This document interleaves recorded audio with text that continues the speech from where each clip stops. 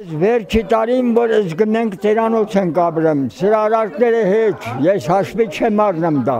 Վահանը վախվանից սլնիստ է։ Այո, Всё, այսօր, հենց այսօր, այսօր Երևանի թիվ 1 տուն ինտերնատն է։ Աշխատակիցներն ու բնակիչները արդարություն են պահանջում։ Բողոքի պատճառը աշխատանքի եւ սոցիալական հարցերի նախարարի որոշումն է։ Հոկտեմբերի 5-ին տնորեն Վահան Զուրաբյանը ազատվել է աշխատանքից։ Վահան Զուրաբյանին մեղադրումա, որ մանկատան շրջանավարտներին պետք է շպրտեիր դուրս, ազատեիր բնակարանը, չես կատարել քո գործառույթը։ Եթե արդարությունը չհաղթեց, բոլորս դիմում են գրելու հեռանանք ստեղից։ Ինտերնատի աշխատակազմն ու բնակիչները համաձայն չեն նախարարի որոշման հետ։ Ստորագրահավաք են կազմակերպել նամակով դիմել կառավարության ղեկավարին։ Վճռական են տրամադրված։ Իրենց տանը նոր տնորեն չեն ընդունի։ Շուտա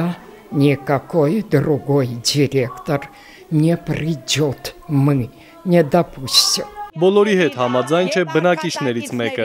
ովքեր որ ստորագրել են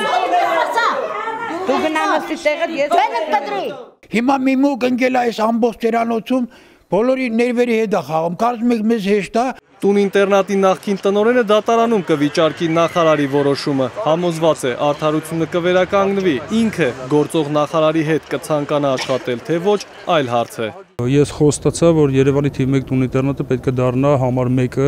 հանրապետությունում։ Գտնվելով անաշխատանության մեջ, ամսի 8-ին ներկայացել եմ աշխատանքից, անօթացել եմ, որ ամսի 5-ին աշխատանքից ազատված եմ եղել։ Դիմել եմ դատարան վերականգնվելու համար, Նախարարությունը չի մեկնաբանում տնորենի ազատման որոշումը։ Տուն ինտերնատի տնորենի ժամանակավոր պաշտոնակատար է նշանակվել փոխտնորենը։ Զուրաբյանի խոսքով այս նշանակումը եւս ժամանակավոր է, քանի որ տնորենի աշխատանքի համար արդեն դիմում է ներկայացրել Լուսավոր Հայաստան կուսակցության անդամ Արսեն Մելիքյանը Ալավերդիից։ Հայկ Նավասարդյան, Արման Թովմասյան, Այլուր